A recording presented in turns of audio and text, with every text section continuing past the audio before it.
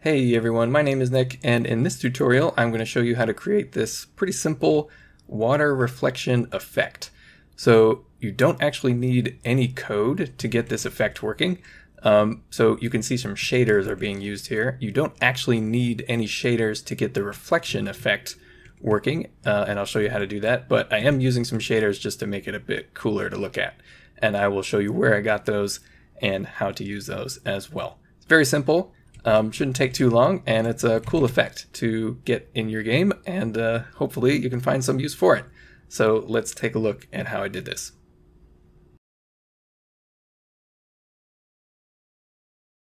So for this tutorial, I'm using the same setup as my previous tutorials, um, which I will link in the description. But basically, I have a tile map, have my player scene here, which is just a kinematic body 2D with a sprite and a collision shape. And I have a few sort of objects that the camera will attach to when the player gets close.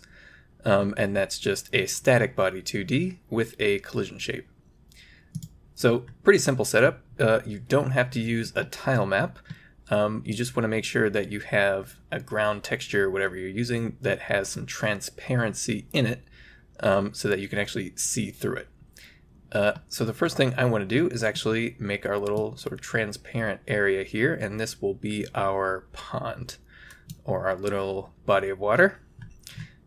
There we go. Save that. I'm going to go to my player character, and whatever sprite or setup you're using to sort of uh, represent the body or whatever it is, um, object that you want to actually create a reflection for, you just want to duplicate that texture or that sprite. And I'm going to rename this, let's call it reflection. I'm going to put it behind the uh, one that's going to be upright. And then for that one, I'm going to go to transform and then flip the y-axis. I'm going to get my move tool and just move it down to where it looks like a reflection. So I also want to decrease the alpha channel or opacity basically uh, over in modulate um, and that's going to make it look a little better. So we'll save that, go back to main, and you can kind of see that it looks like a reflection already.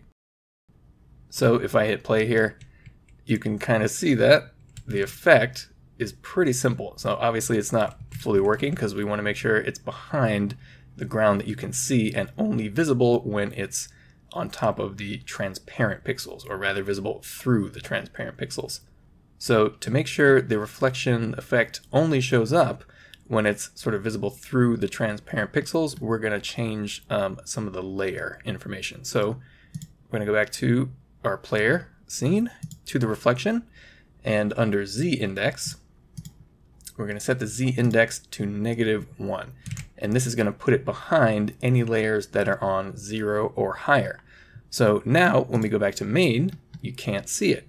So if I hit play again, now when I come down to where my transparent pixels are, um, to wherever the sort of hole in the texture is, you can see that the reflection is negative 1 z, in, z indexed behind the ground texture, but because these pixels are transparent, you can still see the little flipped sprite.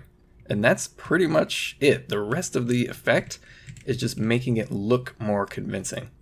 Um, so you want to make sure that you pay attention to what z index your textures and objects and things like that are on. Um, in case you walk to the wrong place and it ends up looking like there's a reflection where you don't want there to be one.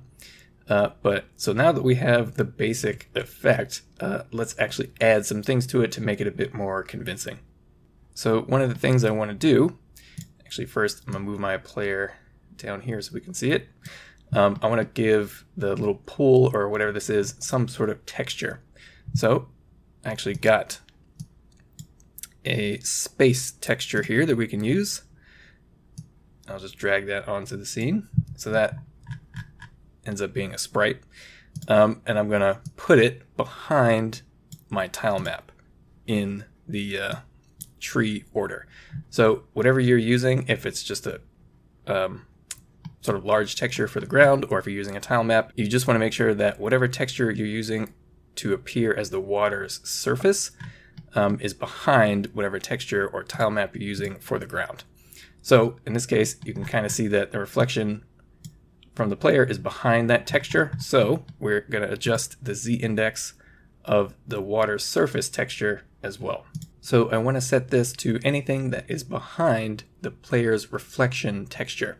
So the reflection texture is negative one. So I'm going to set the z index of my little water surface texture to negative one or a lower number, negative two, anything that works. Um, I'm also going to resize this texture a little bit, I think, just to make it fill the space.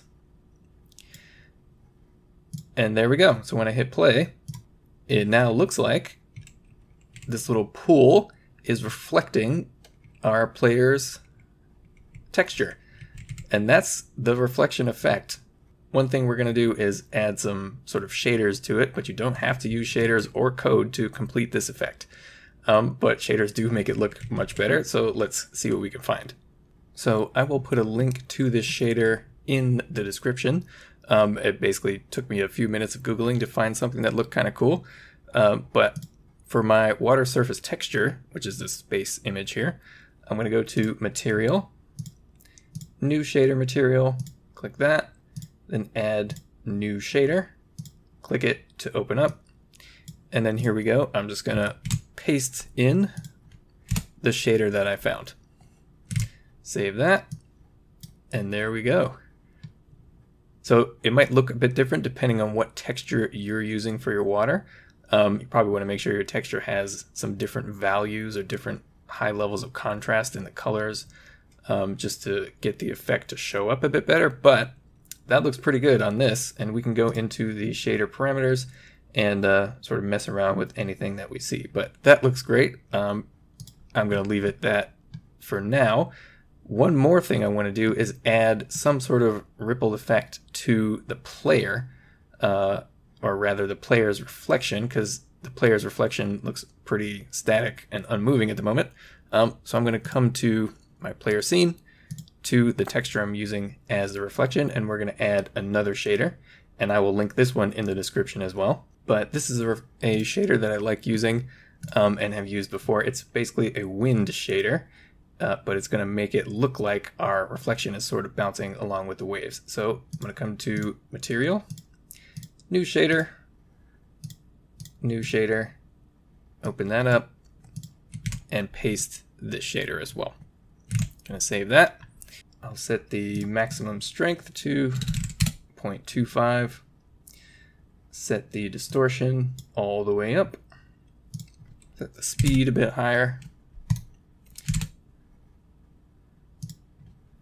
let's go with the three there.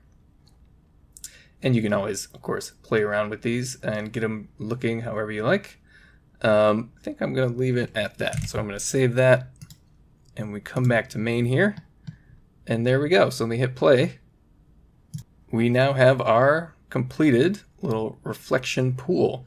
And you don't have to use shaders. Obviously, they do make everything look better. Um, and it's pretty easy to find some shaders and copy and paste them in there. Uh, so you can find whatever you like and use them there, of course. But uh, that is the effect. Um, really simple. Don't actually need any code to get it to work.